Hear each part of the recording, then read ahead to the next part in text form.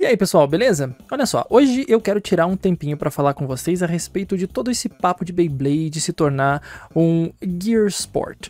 Eles têm considerado muito essas palavras e enfatizado bastante no marketing recente de Beyblade X essa questão de se tornar mais um esporte do que apenas um hobby. Eles até têm brincado bastante com a frase que não é mais uma brincadeira. E eu tenho dito por muito tempo uh, sobre isso em lives que eu faço tanto na Twitch quanto às vezes no YouTube uma comparação que eu faço com outros jogos, com outras franquias que também são levadas a sério.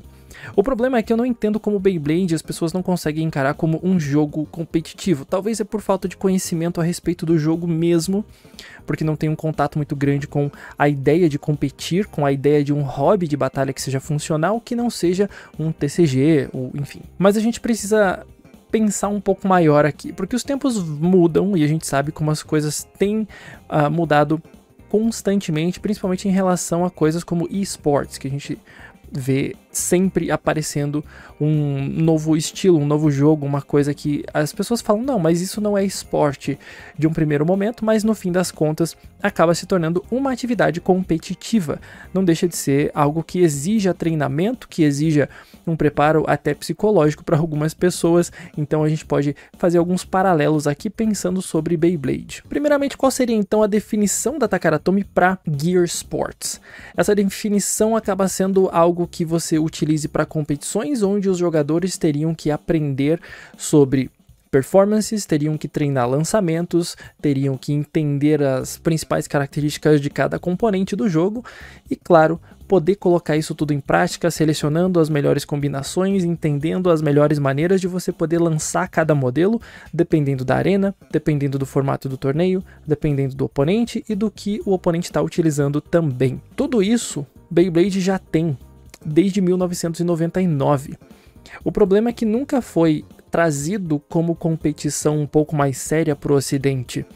Enquanto na Ásia a Beyblade é muito popular por essa questão toda de eles terem competições constantes, muitas lojas patrocinadas pela própria Takaratomi para fazer competições, aqui no Ocidente tudo não passava de uma brincadeira e aí as pessoas acabaram ignorando bastante a questão de Beyblade não ser algo competitivo. A ideia do jogo sempre foi você recombinar peças, entender performances, adaptar lançamentos e principalmente treinar bastante para que você saiba utilizar uma combinação eficiente de peças. Tudo isso de Gear Sports, na verdade, é só um nome que eles estão utilizando para o que Beyblade já tinha e para que eles possam promover isso de uma maneira mais efetiva para as pessoas compreenderem que Beyblade também pode ser uma competição um pouco mais séria. Posso fazer um paralelo aqui que eu sempre faço nas lives e eu gosto muito de comentar sobre isso, é o próprio Pokémon TCG que é um jogo que eu gosto muito, que eu acompanho já há bastante tempo, mas se a gente parar para pensar um pouquinho, não deixam de ser cartinhas coloridas com Pokémon desenhados ali, não é? É óbvio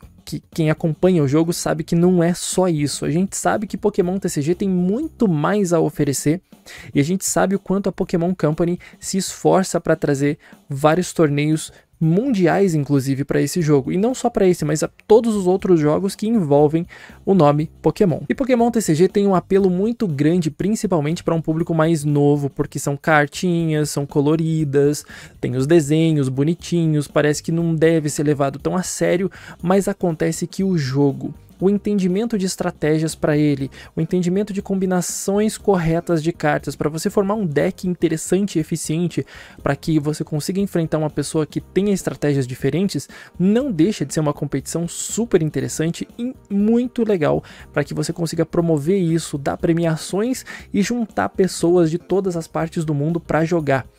Se Pokémon tem esse potencial com o TCG, com o videogame, com tudo que oferece na franquia, Beyblade não tá tão distante disso aí não. A gente só precisa, na verdade, romper essa barreira que as pessoas têm esse pequeno preconceito com o hobby.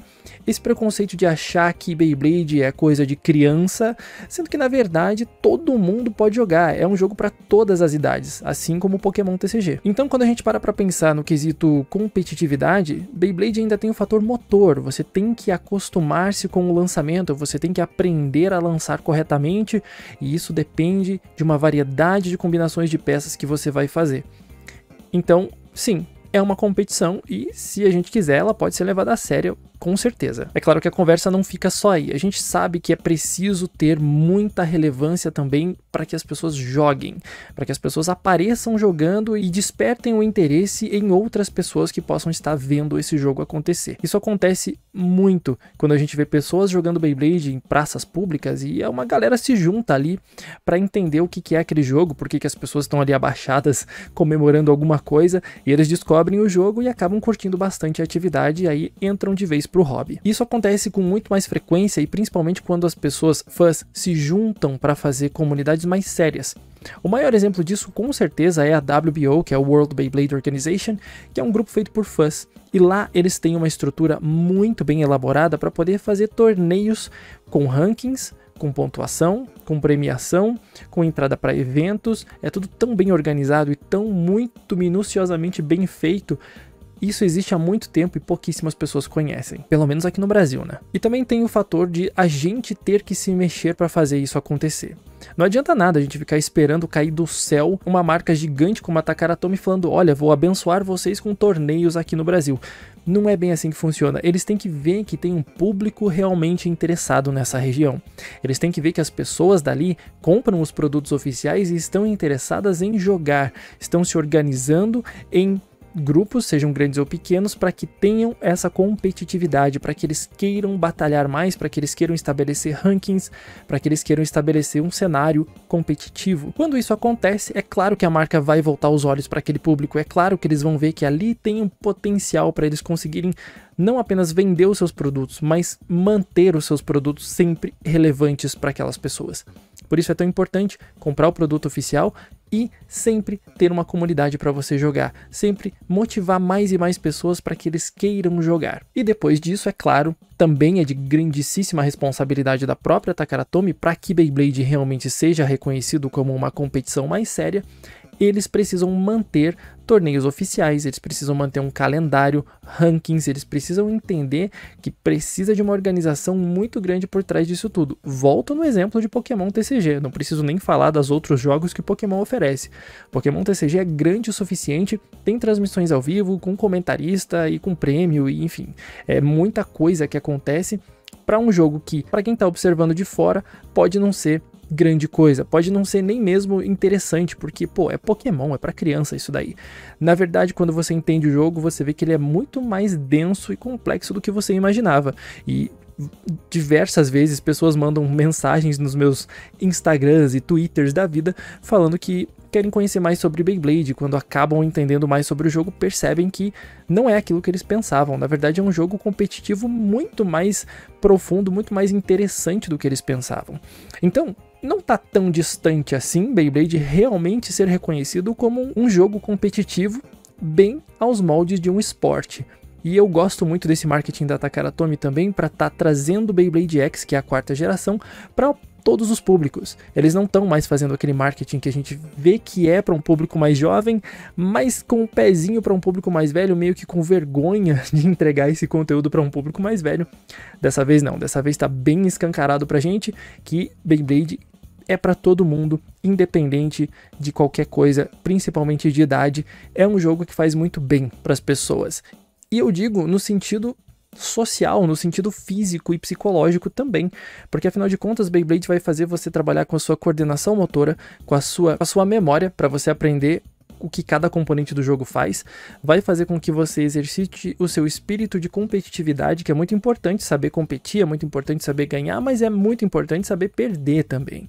E você também vai desenvolver um senso de comunidade, de social muito importante, além do que Beyblade é um jogo que te tira da frente das telas. Você não precisa ficar aqui na frente do YouTube não todo, o tempo todo, cara. Você pode ir para fora, jogar Beyblade com um grupo de pessoas e curtir um momento fora um pouco das telas só tem coisa boa, só oferece coisa boa e não apenas para o público mais jovem, mas para todo mundo que está precisando sair um pouco de casa para ter esse contato com outras pessoas, para entender um jogo, para compartilhar uma atividade que seja competitiva e divertida ao mesmo tempo. Ao meu ver, Beyblade tem tudo para dar muito certo na quarta geração e se eles continuarem consistentemente apostando nessa ideia de Gear Sport, vai dar muito certo. Basta que a gente tenha mais pessoas jogando e muito esforçadas em trazer a comunidade sempre junta, trazer mais pessoas para jogar, mostrar para essas pessoas que Beyblade, assim como um board game, Assim como um TCG pode ser um jogo também bastante complexo o suficiente